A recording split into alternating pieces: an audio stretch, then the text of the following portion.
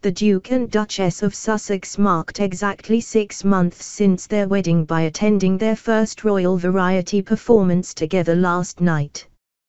Proudly showing off her blossoming baby bump, Mefar made her first appearance at the show, wearing a dazzling black and white sapphire top and long black skirt.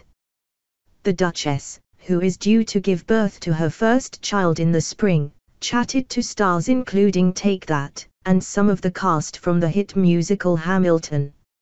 She was given a winter posy by seven-year-old Darcy Ray Moyes from Crowthorne, Berkshire, who was wearing a tiara when she stepped inside the London Palladium.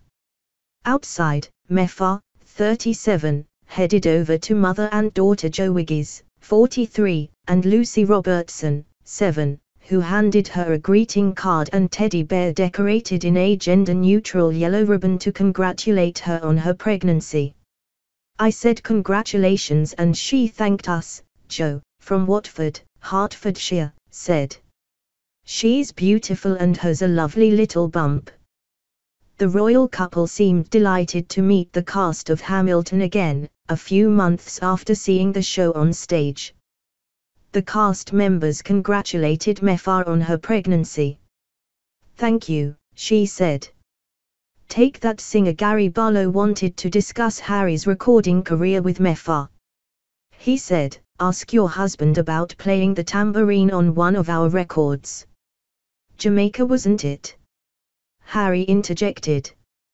Barlow later explained that the prince had played percussion on Sing, his Commonwealth record commemorating the Queen's Diamond Jubilee. In the royal box the couple smiled broadly as host Greg Davies welcomed them to the show. They also beamed when he said the entire audience would like to congratulate them on their wonderful news. As I believe they say in royal circles, one is thrilled that two will become three, he said. The couple also laughed good-naturedly as they were the subject of Davies' opening skit. He recalled how his mother, Pat, 78, a retired school bursar, had said, all of us single ladies were a bit disappointed when he, Harry, got taken. As if she had a chance. Davies said, to Mefar's laughter. However, there were a few hiccups during the show.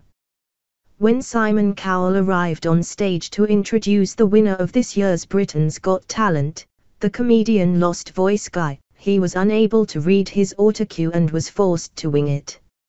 At another point Greg Davies came on and went to introduce Sheku Kanneh-Mason, the talented young cellist who performed at Harry and Mefar's wedding.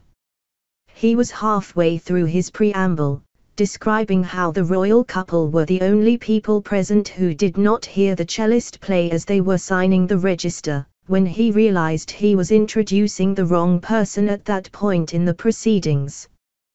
That was entirely the wrong link, he said laughing, before going off stage and returning to more applause, including from the Duke and Duchess of Sussex. After the show the couple made their way on stage to meet more than 40 performers. Mefar was enchanted by Peanut, a realistic puppet elephant from the Act Circus 1903 who bowed and offered her a posy of flowers. Harry even chivalrous kissed its trunk. Performer Jessica Spallis, who accompanied the elephant, operated by Luke Chadwick Jones, said the couple had been fascinated about how the elephant worked and even had a look behind his ears to check. Jessica spoke of her pride at appearing in front of the royal couple. I've been watching this show since I was a child so this is a dream come true, she said. It was Harry's second outing to the annual event, which is always attended by a member of the royal family, after his debut in 2015. As a former actress and performer, Mefar took a keen interest in the show, an event she is unlikely to have seen anything like before. The Royal Variety performance a mixture of music, dance, singing and comedy is held in aid of the Royal Variety Charity, whose patron is the Queen. The money raised from the show helps hundreds of entertainers throughout the UK, who are in need of assistance as a result of old age, ill health, or hard times. In particular the charity assists former members of the entertainment industry living in Brinsworth House, a residential home it runs in Twickenham, southwest London. The Duchess's posy included foliage from the Brinsworth House garden. The origins of the Royal Variety performance date back to 1912 when King George V and Queen Mary agreed to attend a Royal Command performance at the Palace Theatre in London, in aid of the Variety Artists Benevolent Fund. In July 1919, the second royal show was performed and was the first to be billed a royal variety performance.